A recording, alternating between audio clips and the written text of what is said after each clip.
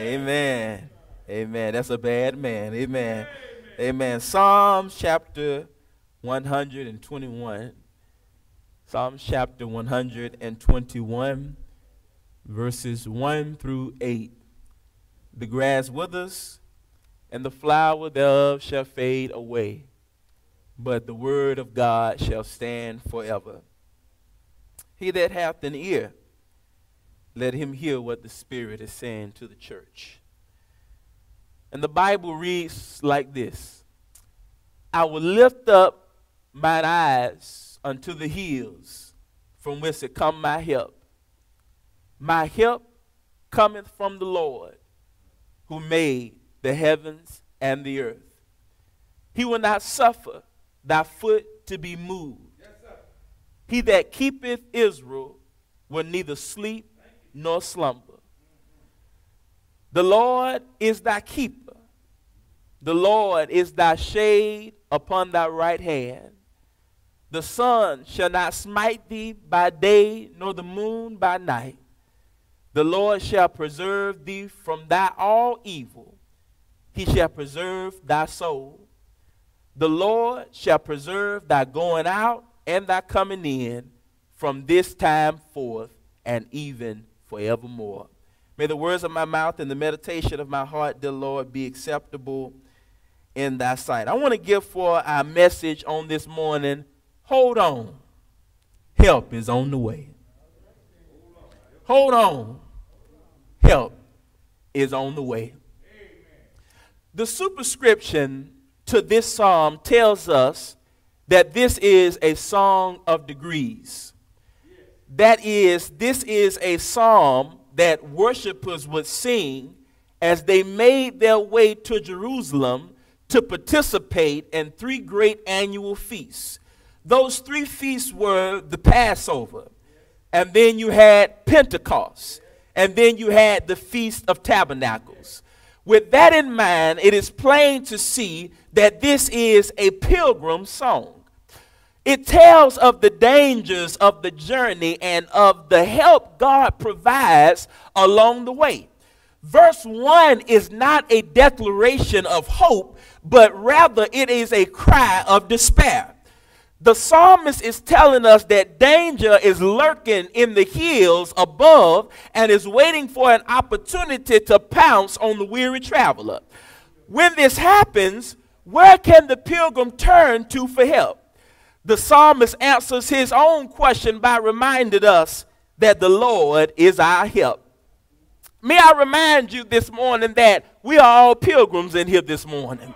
You that are watching this morning, you ain't nothing but a pilgrim passing through barren land. Your pilgrimage began with the moment you obeyed the gospel of Jesus Christ. And it will continue until we step out of this life and into the next life. Now, my what my what glory awaits us when we finally get home one of these days. Along the way, however, there are dangers lurking all around us. Where there are dangers all around, there are thieves that would rob us of our peace, that would rob us of our joy, that would rob us of our victory. There are sins that would quench the fire of God that is within our spirits. There are problems that would strip us of the glory and power of God. I don't know about you all, but I have been through difficult times in my life already, and times when danger surround my life, and I wondered where my help was going to come from. You might be there this morning, and you're in something that you're going through right now, and you're saying, "Man, I don't know. Is it going to get any better? Where is my help going to come from? I came to tell somebody this morning, hold on, your help is on the way. Just hold on, and God will in due time provide you the help that you're standing in need of. Now, let me encourage you with this psalm this morning because if you are struggling this morning or you are just aware that problems might be just around the corner, then this, my brother and sister, is a psalm for you this morning. Now, now let's join the psalmist for a few moments as he tells us about a source of help that is greater than any problem that we could ever have. In these verses, we will find help for the journey. Notice the truths revealed here as we think on the thought, hold on, help is on the way. Number one, remember that God is the source of our help. He is the source of all of our help, for He is our creator. He made us, He created us. He made us. The psalmist knew that his help would not come from the hills. In times past, the hills had been places of idolatry and the hills had been places of false religions, and no help would come, could be found out of the false thing. And the psalmist turned his attention to the Lord. He knew that the real source of his help was the Almighty God. He isn't referring to a friend or even to an ally, but to the creator of the universe. The idea is this if God can make this world, then surely he has the power to take care of us as we live in this world. I believe I'll say it again. If God got the power to create this world, then surely God has the power to take care of each and every single one of us as we live and operate and move and navigate through this world that we're living in. What a truth it is that our helper is none other than the very one who stood on nothing and called everything to be as it is. Before there was anybody around to witness, before there was anybody around to testify of his glory and of his goodness. He was still God all by himself. And that's where our help comes from. He is able to help us because he is our confirmer. What do you mean? The, ver- the verse tells us in verse number three, it tells us that the Lord will not allow our foot to slip. It says he will not allow our foot to slip. God knows how easy it is for you and me to slip into sin and discouragement. He knows how easy it is. He knows how easy it is for us to slip into the snares of the enemy. Yet, we must remember that He is ever with us and He has promised to sustain us in, with His presence and by His mighty power. Now, we see that in Hebrews 13 5 and Matthew 28 and 20. We, we need to remember that the Lord has never made a house that failed. He has never made a foundation that crumbled. You ain't got to worry about the big bad wolf coming along huffing and puffing and blowing down anything that Christ has built. He said in his word, Thou Peter, and upon this rock I'll build my church, and the very gates of hell shall not even be able to prevail against this foundation that I am building. What do you mean, preacher? The church is going to be around.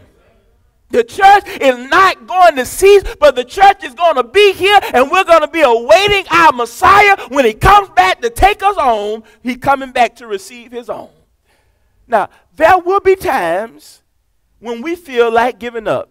Just be real with yourself. You feel like giving up a time or two in your life.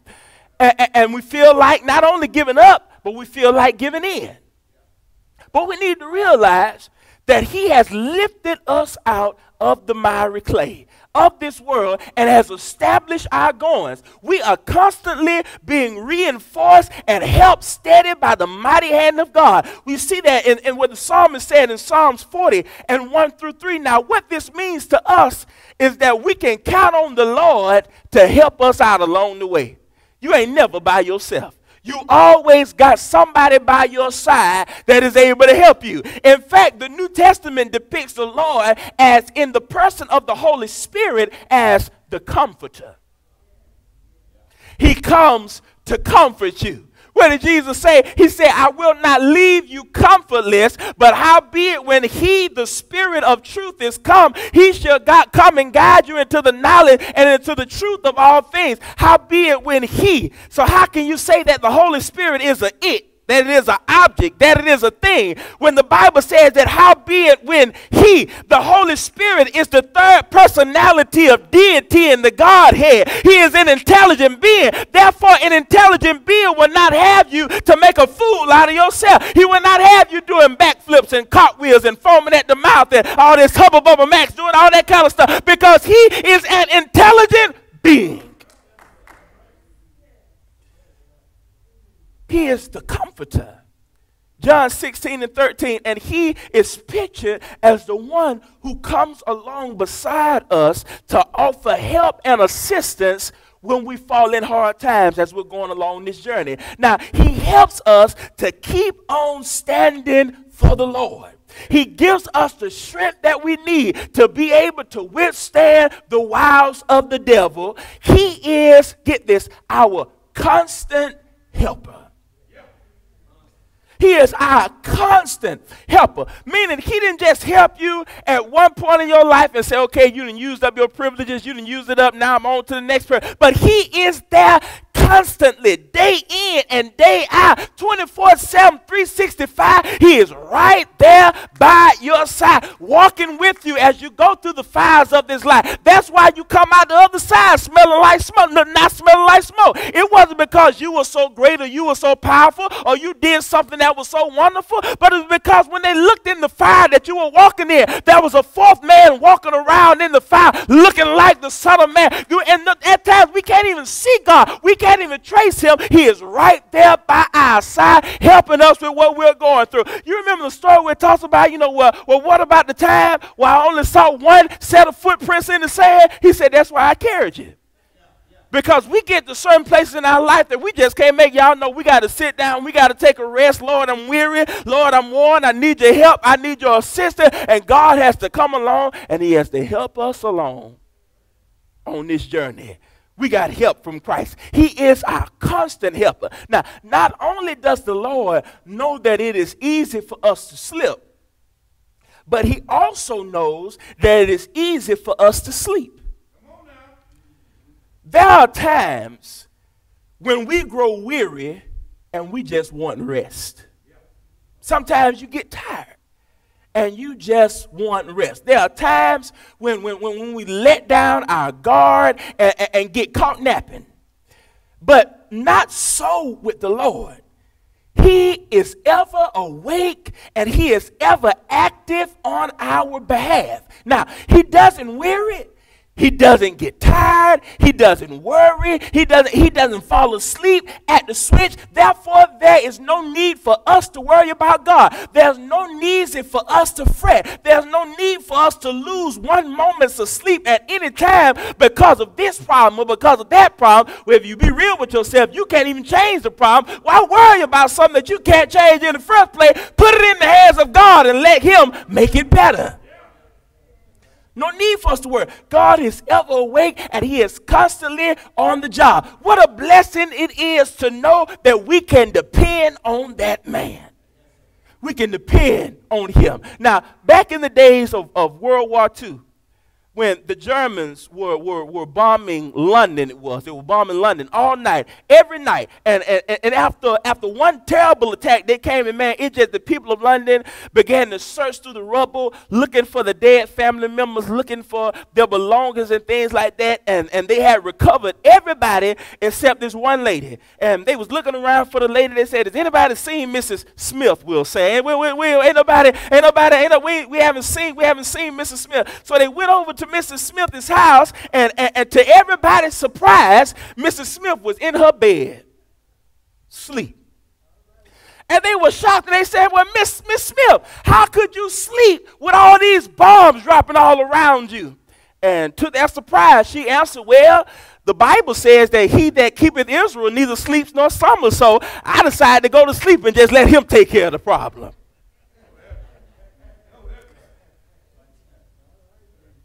He protects us even from our enemies. This verse, verse number five and six, they tell us that the Lord is the shade upon our right hand. In ancient times, warriors carried two items if they were going into battle. One was a sword, and the other was the shield. Now, normally, the shield was carried by the left hand, and the sword was carried by the right hand. Now, this meant that the right side was vulnerable to attack since it did not have a shield of protection upon it. Now, the psalmist is telling us that God takes up a deliberate defense position to protect us when we seem to be the most vulnerable. We never know from where or what area we are going to be attacked, where it is going to come from. Sometimes we find ourselves attacked in areas where we are weak. our enemy knows all about our weaknesses. He knows all about that. Other times we find that we are attacked in areas that we seem to be the strongest. Elijah is renowned, for, world known for his courage. Yet he fled from a woman named Jezebel. Moses' greatest strength was his meekness. Yet in anger, he struck the rock and was forbidden to enter the promised land. Abraham's greatest strength was in his faith in the Lord. Yet he went into Egypt in pure unbelief. The whole point is this we will be attacked, and we will never know where the attack will come from, but it never catches God off guard. He is always ready to shield us and protect us when we find ourselves in harm's way. He protects us from the elements. Now, in, in, in, the verses, verse number six especially, it says that the psalmist speaks of, of, of two sources that harm that were, that were common to the ancient soldier. One was a sunstroke and a, a dangerous condition where the body became overheated and just shut down. And, and, and this con condition could be fatal. The other was moonstroke believed by the ancients to be just as dangerous, moonstroke, unlike sunstroke, did not affect the body, but it affected the mind. Did not affect the body, but it affected the mind. And in ancient times, mental illnesses was thought to be caused by the moon. They thought the moon caused mental illness. And this is where we get the word lunatic to refer to someone who has a mental disturbance. The whole idea is this the whole idea is this while we are subject to attack in our lives, we are also subject to attack in our bodies and in our minds we are subject to attack. However, just as God will guard us against the attack of the enemy from the outside, he will guard us from the attack on the inside as well. Now, now whether the attack is open or secret, whether it comes from the day or it comes from the darkness by night, be sure that God is aware of where you are and what is happening, and he will always be there to protect you. He will always be there to guard you on your vulnerable side. Our greatest gift in troublesome times is that we got him that we can run to. That's the great that's the greatest strength. The greatest strength is not your knowledge. The greatest strength is not our attainments and what we have acquired. Our greatest strength is that when we find ourselves in trouble, we can run to the rock that the builders rejected, but he has now become the head of the corner. That's what we got somebody that we can run to. Now, now, because he is our help, we are preserved from evil. We are preserved from evil. These bodies are much like volcanoes. At any moment, the sin that is pent up in us can burst forth and we can commit sin unimaginable. This flesh that we carry around is utterly depraved. Romans 7 and 18. And how can we ever hope to live for God? The answer lives in the Spirit of God, where we can obey His gospel. Because the Spirit, the Bible says, is the one that reveals the word to a person. We must obey his word in order to even get on his side, in order to even get on his team. Because recognize, though, all throughout your life, even before you came to that point, God was watching over you. The Bible says it this way He causes rain to call down on the just as well as the unjust. Peter found it out this way at the house of Cornelius. I perceive that God is no respecter of persons. What are you saying, preacher? God doesn't have a, a, a, top 100 of his servants. He doesn't have a select group of people that say, hey, okay, you are better than that person. You are better than that person. But the Bible categorized us all together when it said that all of our goodness, all of our righteousness is but filthy rags before the eyesight of God. You have not worked enough. You have not done enough. You have not sung enough. We have not preached enough to earn anything from God. Everything that we get, get from Him is only by His grace and only by His mercy. Us being here at this very moment is all because of His grace and all because of His mercy. Now, now, now, now, now, when, when, when we come to faith, when we obey the gospel call, Christ comes to live in us. That is, that is what is talked about the indwelling of the Holy Spirit. Christ comes to take up residence in your life. But Christ cannot dwell in an unclean house. He cannot dwell in a house that is defiled and ragged. God has to dwell in a house that is clean. You, you know, if, if you got a letter, a letter from God Himself and say, Hey, I'm coming to your house, do you know how clean your house would be? I mean, man, I mean, you would, you would go out and get cleaning services to come in and say, hey, man, the, the Lord is coming to my house. We got to be ready. Y'all take your shoes off when you come in the. The Lord is coming into this house. We will go out and we get it ready. That same way you prepare for the physical house, you got to prepare for the spiritual house. Make sure that you and yourself is a vessel that is cleaned up and is in the position that God can live on the inside of you, that God can work and operate in your life. He's come to help us, y'all, in whatever we are going through.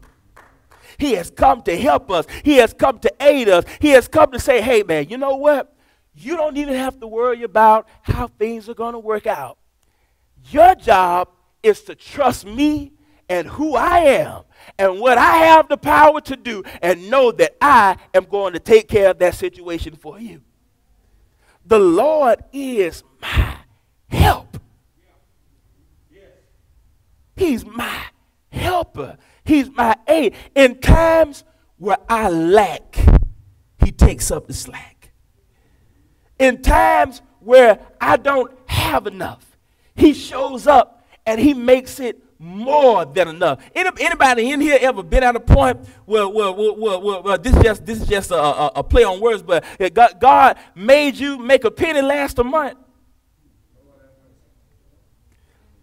God, God, God, God took what you thought to be insufficient, what you thought to be minute, what you thought to be not enough, but you gave it to God and trusted Him with it. And God, beyond a shadow of a doubt, blowed your mind and showed you just what He has the power to do. Let me tell y'all, that same faith that we have in God when we need things from Him, we got to have that same faith from God on throughout our life. Because let me tell you, Satan, our adversary, as I said, he is out there. He is on his job. He is after you. He's after you not just on Sundays, but on Monday, all throughout the week, on your job, in your home, through the television, through the radio, everywhere you go. Satan is there. He's trying to attack. He's trying to get in your mind, trying to get in there, creep doubt and uncertainty in your mind. He's trying to shake your faith in Christ, but having done all to stand, we got to keep on standing on the word of God because if you stand on his word, I'll tell you something, you got a sure foundation. You got a sure foundation, and the winds can blow as hard as they want to. The rains can fall down as hard as they want to. You got a solid foundation if you're standing on God and if you're standing on His Word. Because His Word, even after this world as we know it, is gone and done away with, guess what's still going to be standing? His Word. His word is still going to be standing. And you know that day that you yourself stand before God, you know what's going to judge you? It says it's going to be a book. And it says it's going to be another book are going to be open. And you are going to be judged by the things that are written down in this book on that great judgment day. Now, for those, for, for so, some that ha- have a misconception, nobody that has died up to now is already in heaven. Nobody that has died. So at the funeral, when they say, "Oh, I know she up there dancing with the angels and uh, walking down the streets of gold," there is nobody that has died that is already in heaven. When a person leave this earth, your body, your spirit, it goes back to the God that gave it. God puts it in what we call a holding place until that great day of judgment, when we are all going to stand before Christ to be judged by the things that we have done in this body. Those those things good and those things bad. He said that the dead in Christ shall rise first. Y'all, it's going to be a great, what they say, getting up morning. When the dead in Christ shall rise. I, y'all, and let me tell you, I, the song said, I want to be in that number. I want to be counted among the faithful. I want when God comes back, when he does an inspection on my life, well, he don't have to do an inspection because he already know everything about me, know my going to, from my going from, my uprising, from my down setting. He already knows everything about me, but I sure hope that when the Lord comes back, he can look at me and say, well done. Ain't that what we're working for? Ain't that what we're living for? If you're not living for that, then what are you living for? If you're not coming here for that, then what are you coming here for? We're coming here so that we can get what we need to make sure that we make our journey. Because we all know that this pilgrimage has a destination. All of us pilgrims traveling on this road, we know that ultimately we're trying to get to that destination that he tells us in John chapter 14. He said, I'm going away to prepare a place for you. And if I go away to prepare a place for you, I'll come again and receive you unto myself. That where I am, you may be also.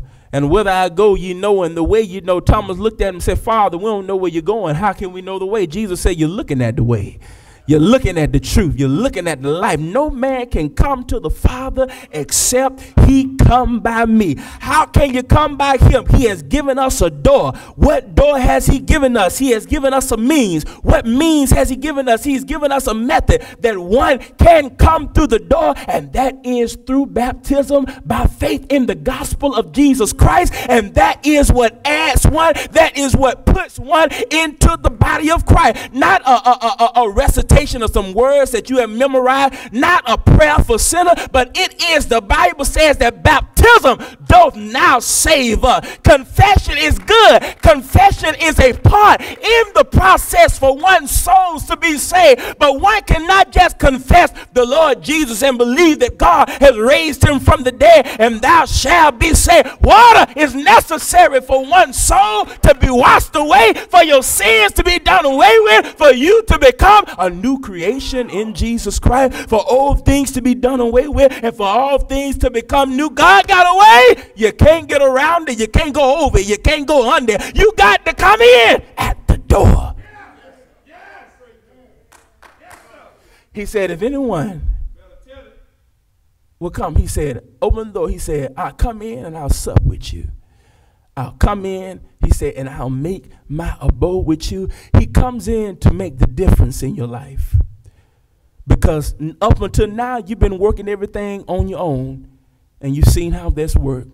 God says, now that you've surrendered your will and your way to me, you, you, you, you, you've been washed, your, your sins have been forgiven. You're now following me. Now you got help. Now you got help for those dark days ahead. Because let me tell you, you don't just experience a dark day in life. We have dark days.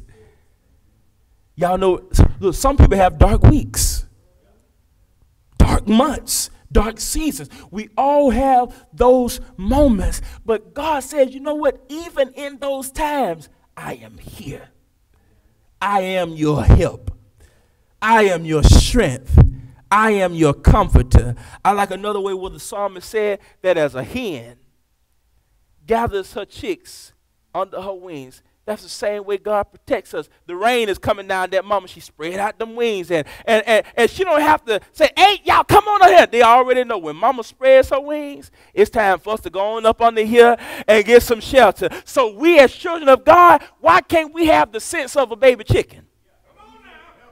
Why can't we have the sense of a baby chicken? We look out in this world right now. We see looking, seeing all kind of dangers going on. All kinds of things are happening right now. We, as the children of God, we need not worry, but we know where we ought to run to, where we ought to go to in the time of trouble. Our help is not going to come from a government. Our help is not going to come from any type of order or system, but our help is going to come from the Lord God of heaven. That's where our help comes from. Our help cometh from the Lord. So, in those times of despair, in those times of uncertainty and worry, hold on. Help is on the way. Hold on, hold on. Give it just a minute. Don't be weary in your well doing. For in due season, y'all know we got all kind of seasons. We got winter, we got spring, we got summer, we got fall. I don't never hear nobody talk about autumn, but it's out there too. But we got all of those seasons, and we know about what time of year you can expect those seasons. But due season is all year round. Due season is 24 7. Due season is 365. What is due season? Whenever God decides to do what He is going to do, it is going to be due season. You can just admit, man, that's a check that you can take it to the bank and you can cash it. That the Bible says that God will never leave us, nor will He forsake us. When you do wrong, God is right there waiting on you. When you make a mistake, God is right there waiting on you. When you trip up, God is right there waiting on you. When you mess up, bad. God is right there waiting on you. Other people have written you out, said you're worthless, you amount to nothing, but God still says, I am your help. I am your help. I am your help. So, so as children of God, as children of God, we are people of faith. We're people of faith. We're people of faith. And, and our faith tells us, faith tells us that even when we don't understand, He knows. Even where we can't see, he see. Even where we can't understand, he understands. So I got a question for us this morning. Where, as, as uh, uh, uh, for any y'all ever heard James Cleveland, he sang a song, Where is your faith? Yes, sir. Where is your faith in God? I, mean, I, I just love that song. The conversation he was having, man, he said, You say you got a problem? Tell me about it. I know somebody that can help you with the problem. I know somebody, and, and, and as Christians, as, as instruments of God, you know what our job is? Right now, as this world is in turmoil, as this world is in chaos, our job is to take this message of hope, to take this message of redemptive love made personal in the person of Jesus Christ. We got to take this message out there and ring it out from the mountaintop, from the highways, from the byways, from the hedges. Everywhere you go, let them know about the man that helped you. So when they find themselves between a rock and a hard place, it's kind of hard for them to get out. They say, I, I can hold on. Help is on the way. Help is on. Help, help, help is on the way. Help, hold on. Give it just a little bit more time. Any, any of y'all ever, any y'all ever experienced this? You gave up too soon. And you're like, man, if I would have just hang on just a few more days, look at how this thing would have been. But as people, we get anxious. We get anxious. And especially when things ain't looking how we want them to look man, we get anxious. And what we want to do is we want to now intervene and we want to do what we ask God to do for us. Why ask God to do it if you're going to go out there and try and do it on your own anyway? You know, it's an insult to God to ask Him for something you don't believe He got the power to do it. What has He not done in your life so far that is evidence at any at any junction that He will not show up and provide help? Just because he doesn't always do it the way we expect it, or when we expect it, through whom we expect it. Because it doesn't always happen like that. Listen, when you ask God for something, it's not your job to worry about the details. When you ask God for something, it, it, it's not your it's not your job to know, okay, when he gonna do it, how he gonna do it, who he gonna do it with, how long it's gonna last, when it's gonna end, when it's gonna begin. It's not your job to worry about any of that. Your job is to say, hey, Father, it's yours. I'm gonna let you handle it. Not my worry. It's not for me to worry about. I'm going to put it in your hands now. Lord, handle that for me. Fear creeps in about we're fighting viruses and things. Some you can't even see. We run, it, it got us in fear. Some you can't even see got you scared to come out your house. Some some you can't even see got you cleaning like Mr. Clean. Some some you some you can't even see got you doing all of that. but he can see it. You know what? He saw it when it was on the way. And he know when it's going to be on its way up out of here. We don't. But he knows.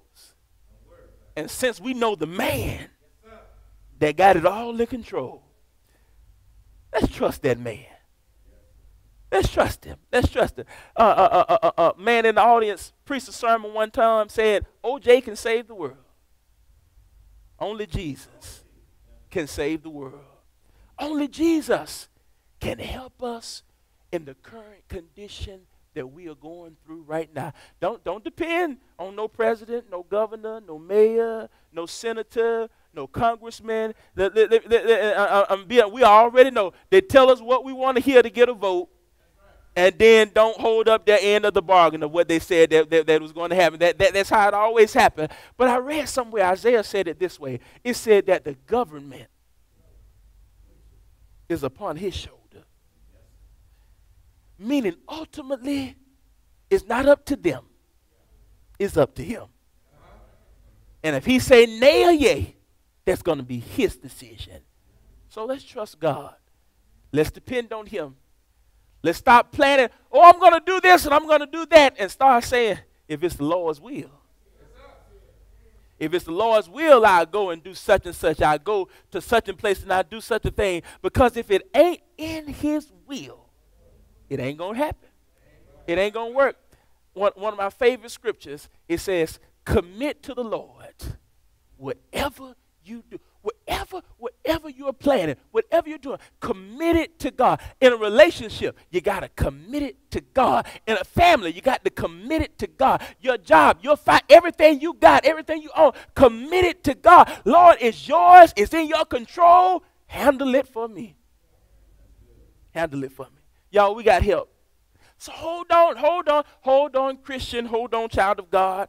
Worrying, stressing about, okay, I've been, I've been laid off work. Uh, you know, I, I don't know when I'm, I'm going to go back to job.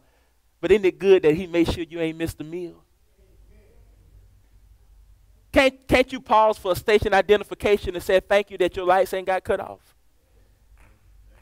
Can't you, can't, can't, can't you pause for a station of identification and thank God that your children are well, healthy, you are well, and you are healthy, that you know where they are, that they are doing well? Can, can, can you thank God that you are still able via the web now to come and congregate with your brothers and sisters? And even though we might miss the fellowship, but being able to have fellowship time and all of that, it's still good that God has blessed us in a way that we're able to come into your house, to come into your car, share with you the good news of Jesus Christ. So as you are going through these trying times and these trying days, that your spirit does not get weak, that you don't become weary in your way of doing, but you are continuously being strengthened to know that you got help. You got help today. You got help. He, he helped us out before we were even formed. He considered us even before the very foundations of this world. And He provided a means and a way for us as his creation, as his children. The Bible says that God is not willing that any should perish, but that all should come to repentance.